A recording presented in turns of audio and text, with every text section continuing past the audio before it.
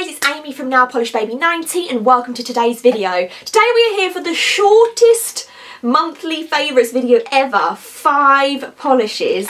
Um, I have done so much swatching and collection reviews this month. I've really enjoyed it. It has been a lot of hard work, a lot of polishes swatched, a lot of them posted to Instagram, a lot of videos for you guys. So I will try and link as many of my like whole video, the whole review, whole collection review videos down below for you. And I will link my Throwback Thursday playlist. Of course, this month was Throwback Thursday month and I hope you all enjoyed it. I really enjoyed going through some of these because I have had a few of them for a while and I really wanted to get a ton of collection videos out to you. So if you haven't seen any of those videos and this is all completely new information, I will link those videos down below for you. And let's talk about these five polishes which also happen to be indies, which I love. A couple of these I'm going to tease you with because three out of the five of them are from brands that are no longer making polishes anymore so I'm extra sorry for that reason. The first two is a duo from Princess Lacquer and unfortunately Ashley announced at the end of last year she was not going to be making any more polishes at the moment and this is a duo based on her dogs I believe and they just shouted out to me when they were on in sales because they're just such unique um, hollows and I'm just going to miss Princess Lacquer so much. The first one is called Coco and Coco is a cocoa chocolatey um, holographic base but then with a ton of flakies in here and the flakies are I want to say they're like they're multi-chrome but they lend kind of like really like red and orangey so the whole polish uh, like together is very like rustic and like I don't know, just like leafy and I, I loved it for that and also it looks like a dog's fur colour which is obviously what they wanted it to be.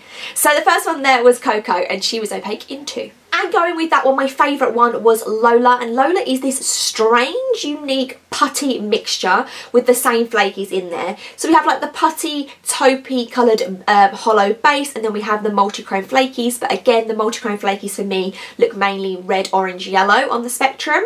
Um, and this one was also opaque in two coats, which is really great because it is a lighter colour. So overall, I'm just going to miss Princess Nail Lacquer a lot. Um, and those two polishes were good, really good I'm so sad.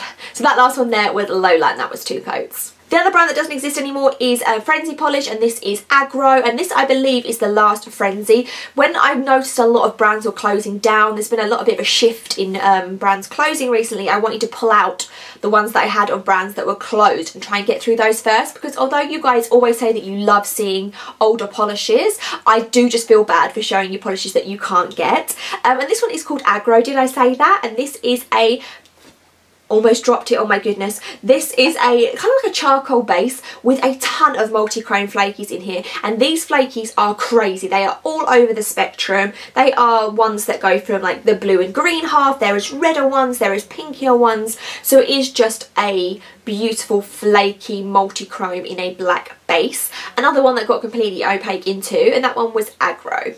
I've just realised that the other two polishes are exclusive polishes so this has literally been the most teasing of videos ever. This one, the first one here is Pahlish's No Sleep Till Brooklyn. This is one of the exclusives for PolishCon New York last year and I spoke about these in my yearly favourites. If you haven't watched that you should um, where um, I loved the exclusive polishes. I don't know what's, I think I went through a phase of seeing group exclusives and customs, none in particular that I'm going to mention, and I was just a bit underwhelmed by them and I just thought that things were a bit generic and when things are exclusive or um, more money, I want them to be up here. And I think that when I the thing that kind of changed for me when I started seeing the PolishCon exclusives and Road to PolishCon this probably almost this time last year I all of a sudden was like wow this is different this is things are changing i'm just super impressed by these.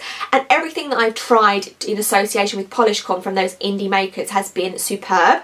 So this one again is from Pahlish which is a brand that i've been um, using a lot more recently. And this is a beautiful bright purple base with a ton of um, flakies in here now i'm not sure if the flakies are silver or if in just in the purple base or whether they are more of a bluey colour because that's what colour they look. And there is also a subtle purple flash to it. The purple flash is there but it's not super super strong. Um, overall I just love this one and I did wear this when I filmed a few videos. So Pahlish's No Sleep Till Brooklyn And the last one I wore for this month was from Moonshine Mani, run by Phoebe Moon here on YouTube. And this is my first Moonshine Mani, and I really enjoyed this one. First of all, I think I said this in my haul video. I love the bottle shapes because they are taller and wider. So I think they'll be really easy to store and stack in my Helmers. I can imagine that would be very visually pleasing. Um, and this one is called the Department of Mysteries, which was a polished pickup exclusive for November. So can't get it anymore and it's this really nice mid-toned purple um, purple mid-toned blue hollow which I don't think we see a ton I have a lot of darker blue hollows, but I don't have a lot of lighter blue hollows.